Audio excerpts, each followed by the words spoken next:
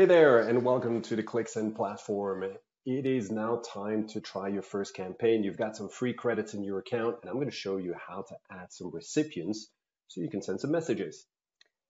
In the contact link on the top left, you'll be able to set up your first list. Lists are where you upload contacts. Think of a list as a list of prospects or a list of customers, and you can create as many lists as you want.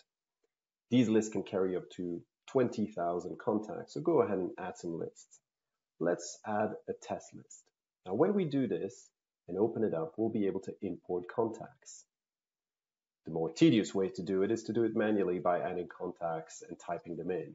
The faster way, of course, is to sync them from Salesforce or HubSpot or even your Google account. But one of the common ways to get contacts into your dashboard is by importing an Excel or a CSV file. So we'll click on upload and I'll find my contact list here and I'll import it.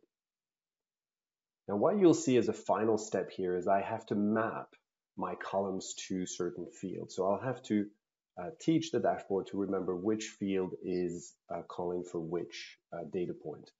In this case, it's easy for phone. I called it phone. First name is first name. But for some fields that are more unique to your business, uh, you may want to use the custom string. So in this case, my spreadsheet had a birth date or a job name that I'll use for custom string one. Think of it as an insert that you'll be able to put in your message without recalling a specific job name. You'll be able to call the job name of that contact. Think of it as this example.